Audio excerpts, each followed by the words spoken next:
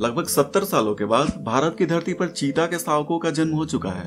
ये बहुत ही historic moment है, क्योंकि भारत में इस बिग वाइल्ड कैट को उन्नीस सौ बावन में ही विलुप्त घोषित कर दिया गया था।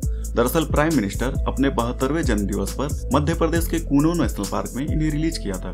इन लेपर्ड को प्रोजेक्ट चीता के तहत नामीबिया से लाया गया है, और तभी से इनके सर्वाइवल पर विभिन्न प्रकार के सवाल उठाए जा रहे थे।